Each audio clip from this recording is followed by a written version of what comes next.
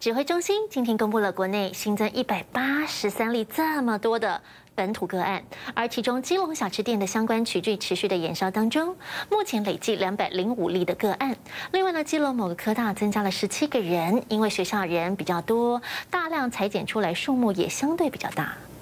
基隆哈这个场所里面哈虽然增加了四十五例，达到两百零五例，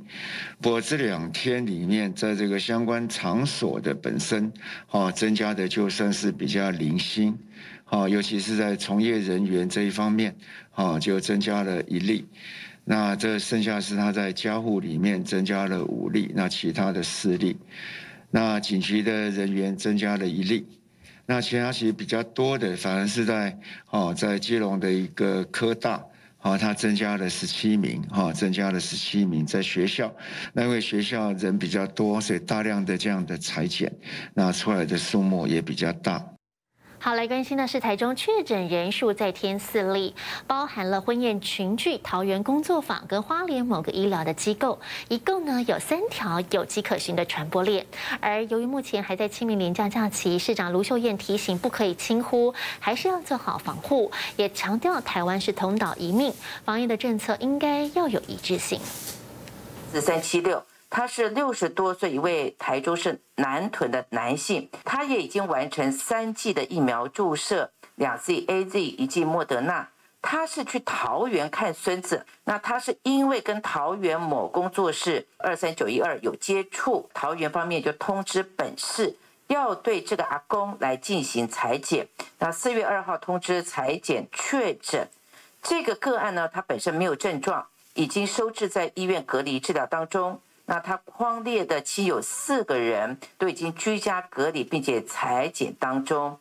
另外，台中市政府今天我们要主动公布一个还没有暗号，但是我们已经向中央通报的哈的一个个案。那这个个案呢是五岁以下的幼童。那他是前两天我们有公布，那我们台中市有几个市民到花莲家庭去旅游，确诊的台中无期三十九岁的女性。暗号是二三七六八的小孩以上呢？我们今天公布三加一，三个有全国暗号，一个没有。那这三个、这四个今天公布的这四个呃确诊的案例呢，都是有迹可循。近期来哈，全国的疫情在升温，那因此很多人关心本市台中市的疫情政策、防疫措施是不是应该要调整？那很多人都在关心，都在询问。我的态度是同岛一命，我们必须同心协力守护好我们的家人。台湾是一日生活圈，行动自由，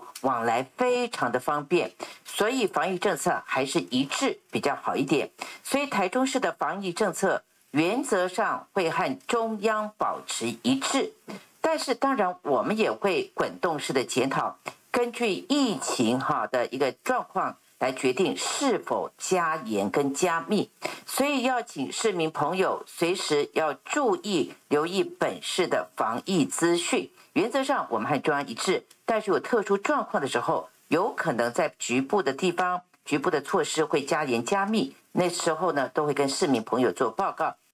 随着病毒的变异，现在的确这个确诊病例很多都是无症状或是轻症的居多，因此指挥中心在今天的专家会议之后修订了解除隔离的治疗条件，包含了移除隔离十天跟 N 抗体阳性的检验标准。到底详细做法是什么？来听听最新的说明。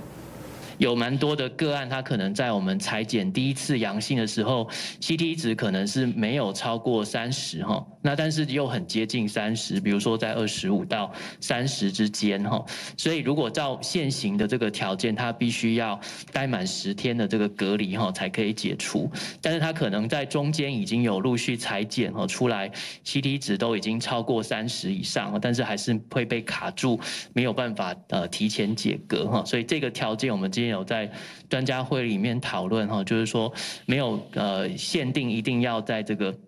隔离这边哈达到十天哈，就可以依照这个整个裁剪的结果，如果有呃两次的这个 CT 值都超过三十，或者是说哈是阴性的话啊，就可以直接符合这个解隔离的条件。那不管是从国际上的文献，或者是我们最近这两个多月的观察哈，大概针对 Omicron 这个部分哈，因为它很多的感染都是无症状，相当轻微的哈，估计大概有两成左右的这个感染者呢，事实上是不会产生这个抗体。包括 N 抗体在内的这个抗体反应，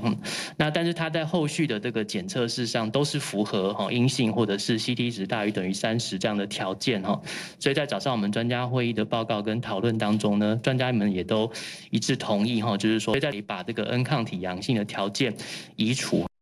屏东县府在恒春垦丁举办的为期三天台湾季音乐活动，因为疫情临时喊卡，原因就是为二十四岁北部女性呢游客，因为公司通知同事确诊，自行购买了试剂，筛检也呈现了阳性，所以呢被屏东县府紧急收治。县长潘孟安研议之后，取消了台湾季的活动，也发出了近万通的细胞简讯，呼吁大家赶快来裁剪。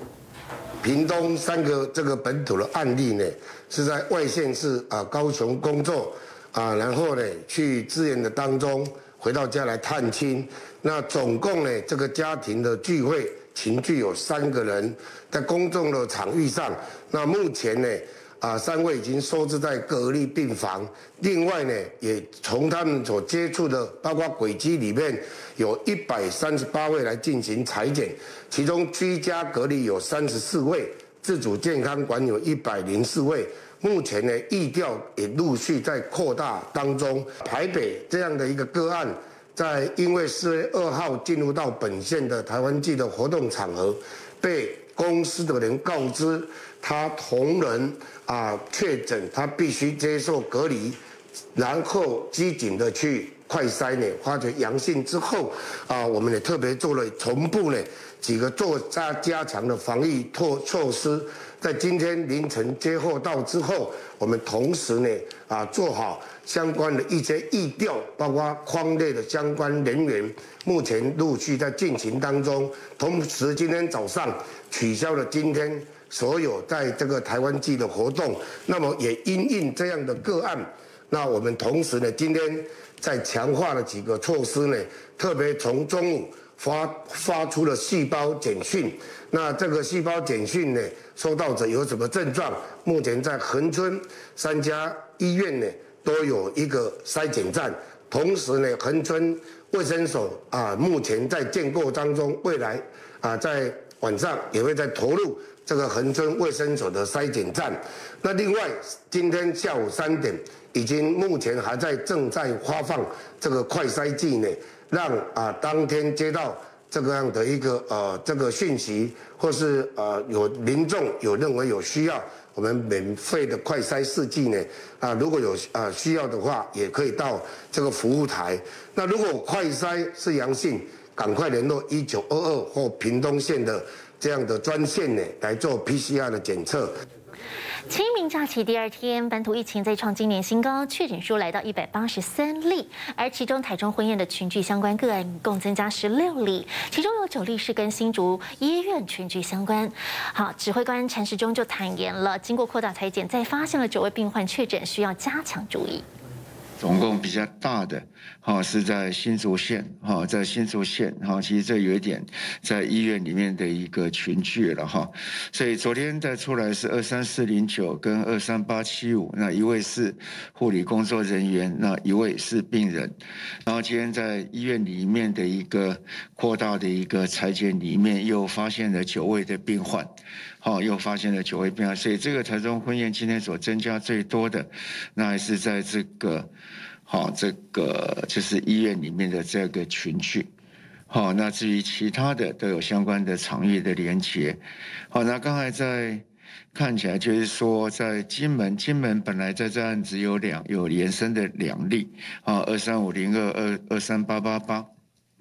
那今天进门又增加了一位，不过相关的议调还在进行。目前看起来跟这婚宴没有直接的关系。两千人的数目不足以来说明说它已经是流感化，但至少我们知道，现在目前来讲，重症的比例相对低。那这个印象，一个是两个是我们本土的数字，但这个一千多人的数字，事实上是没有办法这样来证明。但是以国外的数字来看，事实上可以互相印证。好，所以相对它相对的是轻症化，好是这样讲。但是对于高龄的，尤其是没有打疫苗的，那威胁仍然是非常的大。是不是用打疫苗来做这种？相关的自主管理或是框列的一些，会，它未来我们在也在研研研议，会把它当做一个要求的标准之一。好，那其余的就刚才讲说要看自主应变的能力，跟未来这里面配合快筛等等的，那当然就会把接触者的框列稍微放，好放的范围比较小一点。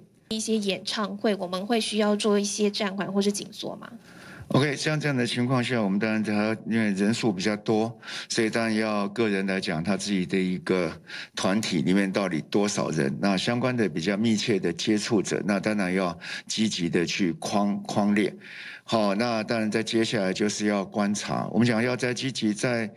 正常生活下防疫就这样哈，并不会说一两个一个染染疫，然后整个这种大型活动都把它停下来。